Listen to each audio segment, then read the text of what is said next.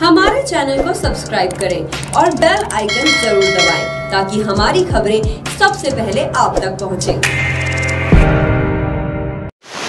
નમસ્કાર QN TV ન્યૂઝમાં આપનું સ્વાગત છે હું છું હસનૈન શેખ જોઈએ આજનું સમાચાર વિગતવાર લઠ્ઠાકાંડમાં અત્યાર સુધીમાં સત્તાવન લોકોના મોત થયા છે જે બાદ હવે સરકાર એક્શનમાં આવી છે ગૃહમંત્રી હર્ષ સંઘવીએ આ મામલે કડક કાર્યવાહી હાથ ધરી છે જેમાં બોટાદના એસપી કરણરાજ વાઘેલા અને અમદાવાદ ગ્રામ્યના એસપી વિરેન્દ્રસિંહ યાદવની પણ બદલી કરવામાં આવી છે. જ્યારે બોટાદ અને ધોળકાના ડીવાયએસપી સસ્પેન્ડ કરાયા છે, સાથે જ ધંધુકાના પીઆઈ કેપી જાડેજાને પણ સસ્પેન્ડ કરાયા છે. ડીવાયએસપી ઇન્સ્પેક્ટર સહિત આઠ ઓફિસરોને સસ્પેન્ડ કરાયા છે. આજે વધુ સાત આરોપીઓને કોર્ટમાં રજૂ કરવામાં આવશે. પોલીસ દ્વારા દસ દિવસના રિમાન્ડની માંગણી કરવામાં આવશે. પચીસ જુલાઈને સોમવારે બળવાડાના રોજિંદ ગામમાં લઠ્ઠાકાંડથી પહેલું મોત નોંધાયું હતું.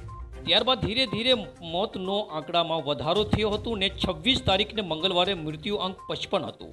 જ્યારે ગઈકાલે વધુ બે વ્યક્તિના મોત નીપજ્યા હતા એમ અત્યાર સુધીમાં કુલ સત્તાવન લોકોના મોત થયા છે. બળવાળા તાલુકાના રોજિંદ ગામના જે બાળ જેના મૃત્યુ પામ્યા હતા જ્યારે રનપુરમાં તાલુકામાં આઠ લોકો નશો કરવા જતા મૃત્યુના મુખમાં ધકેલાયા હતા.